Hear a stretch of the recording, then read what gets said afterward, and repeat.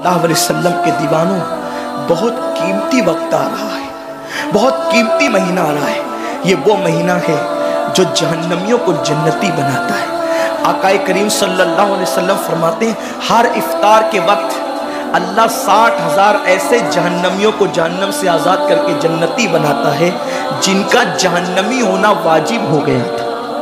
और एक मकाम पे फरमाते पाँच लाख जहन्नमियों को हर इफ्तार के वक्त जहन्नम से आज़ाद किया जाता है। और इसी पे बस नहीं हजूर फरमाते, जब शब जुमा आती है माह रमज़ान की, जुमेरात का सूरज गुरूब होता है तो जुमा का सूरज गुरूब होने से पहले पहले तक हर हर सेकंड में पाँच पाँच लाख जहन्नमियों को जहन्नम से आज़ाद किया जाता है। और जब जन, जब जुमा का आखिरी वक्त आता है, आखिरी साहत आती है मेरे करीम आका फरमाते हैं, जुमेरात का सूरज गुरूब होने से लेकर, जुमा का सूरज गुरूब होने तक, हर हर लम्हे में जो पाँच पाँच लाख को आज़ाद किया गया था, अब आखिरी सेकंड में जो गुरूब का वक्त होता है, जितने आज़ाद किए गए थे, उतनों की तादाद के बराबर, उस आखिरी साहत के अंदर अल्लाह अपने जहन्नमी बंदों को जहन्नम से आज़ाद कर देता है।